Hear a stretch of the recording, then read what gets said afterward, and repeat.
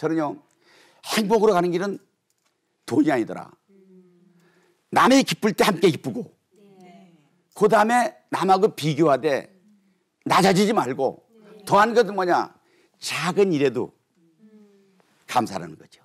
그러면 행복한다. 그러니까 다시 말하면 행복한 사람의 지혜는요 뭐니 뭐니 해도 자기 역할을 연기해야 돼요. 이게 누구죠? 치부람 씨는요 연기를 잘해. 씨하고 같이 나왔던 이승만 역할하는 사람 먼저 오공하고 이승만 아니야. 이승만 맡았으면 이렇게 해야지. 나 이승만은 이천만 동포에게 말합니다. 이거 박수 나온데 여기만 박수 못 쳐. 내가 지금.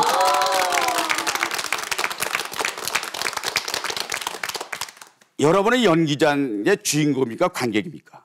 주인공이지.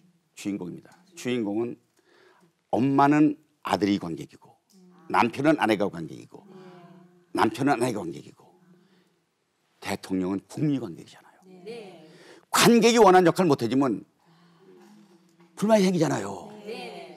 역할은 여러분이 해야 되는데 여러분의 연기 역할은 대본을 여러분이 쓰셔야 돼요. 자기 말하는 대본은 내가 써야 돼. 그러니까 다시 말하면 자기를 개발하고 인간관계 잘하고 나가서 말은 인격은 뭐냐? 말입니다. 말은 화날 때 하는 말은 손해를 봅니다. 그러니까 일단 말할 때 화가 나거든 참으세요.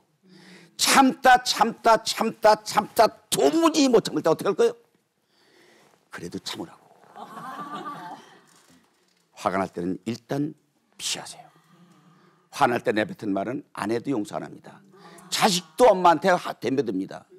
이게 인격입니다. 그래서 마가장 것은 우리 인생은요 서로 긍정하고 협력하고 칭찬해주고 하는 것 이런 것들이 바로 가장 중요한 것이고 내가 가장 중요하게 생각하는 것은 내가 여러분에게 묻습니다.